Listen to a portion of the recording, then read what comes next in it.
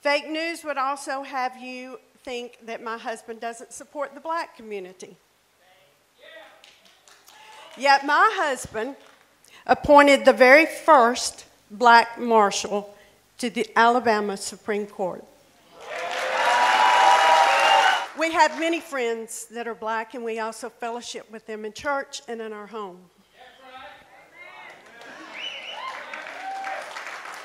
Fake news would tell you that we don't care for Jews. I tell you all this because I've seen it all, so I just want to set the record straight while they're here.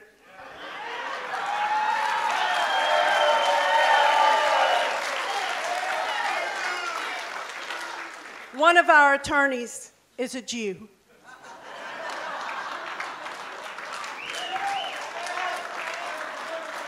We have very close friends that are Jewish and rabbis, and we also fellowship with them.